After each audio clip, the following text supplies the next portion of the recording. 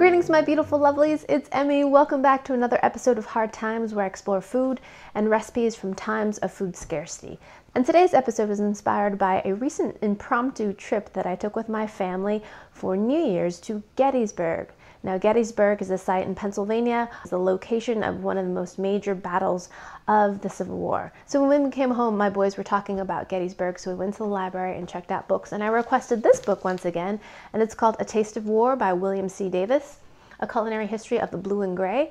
And I've referenced this book once before when I made my hardtack video. If you haven't seen that, I'll put a link up above and down below. So this book is really, really fascinating because it approaches the Civil War from the perspective of food, which was so, so important. So many of the letters that were sent home, both from the Union and Confederate armies, talked about food and how much they missed food. It made me really think about how much food is a comfort, not only in terms of sustenance, but all the memories that are associated with the preparation and the giving and the sharing of the food. So quite poignant. So this is the recipe that I'm going to be making today, Confederate Hospital Toast Soup. Now the infirm or the sick were usually given more rations because of course they were not well, but oftentimes they didn't even want to consume them because they were sick. What soldiers were lacking both in hospitals and in the field were fresh fruits and vegetables. So scurvy was a real problem. Sometimes scurvy was alleviated with sauerkraut, which is a pickled or fermented cabbage. And while it worked to alleviate the symptoms of scurvy, oftentimes soldiers did not want to have anything to do with it. This is a really simple recipe. We're going to take a quarter loaf of bread and we're going to toast it. First lightly and then very darkly until it's the color of chocolate. Today I'm going to be using my toaster. I know that is not period, but I'm really more interested in just getting a sense of what this actually tasted like. I've toasted two pieces of bread here. I'm going to go ahead and toast two more. And I'm going to toast it for about six minutes to get it to this kind of dark brown color. I imagine the reasoning for toasting the bread is twofold. Number one being it'll add a little bit of nutty flavor. Number two, it's gonna give it some color, make it look a little bit more like beef broth or meat broth. I think one of the most important things I learned in this book is that many of the men, if not most, if not all of the men, did not know how to cook. Back in those days, it was the woman's role to prepare the food, to do all of the food preparations. So when a soldier was given a coffee grinder, he didn't know how to use it. When he was given a piece of salted pork, he didn't know how to cook it. So rations were given to soldiers. They carried them in little canvas bags called haversacks. And what they often end up doing was creating little, what they called messes. Groups of six or eight men. One person was assigned to be the cook. He wouldn't have to carry the pan, which was oftentimes a cast iron pan. That would be his kind of payment. He wouldn't have to carry as much stuff during the marches. Besides preparing meals, the cook also had to prepare the fires and had to do cleanup. So you can imagine it was a lot of work. Two more pieces of toast. So I've brought three quarts of boiling water to the boil. And now I'm just gonna place my toast in there. Just like that.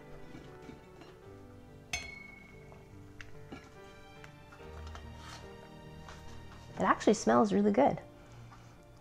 Like toast, just steamy toast. We're gonna let the bread soak and when it's cool, it's ready to serve. It also doesn't indicate whether this should be served hot or cold. It just says to allow this to cool and then it's finished. So yeah, I think I'm gonna have it warm because I imagine broth being warm, but soldiers probably had it cold as well. I had no idea how important coffee was in the war, but it makes absolutely sense.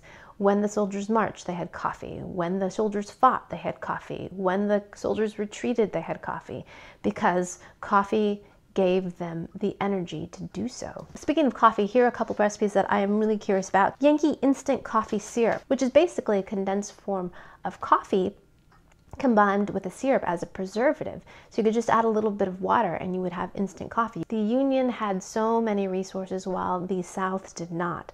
So oftentimes the Southern Confederate soldiers did not have coffee, so they had to have some kind of substitute.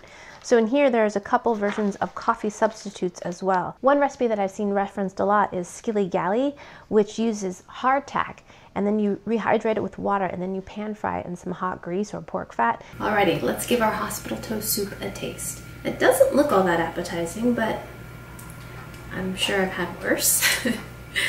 so let's go ahead and serve us up some soup. I imagine you could have it with the bread or not, so I'm gonna try first just the broth, which actually has developed a nice light brown color.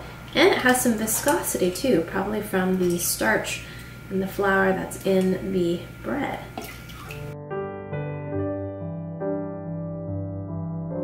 Itadakimasu. Hmm. Yeah.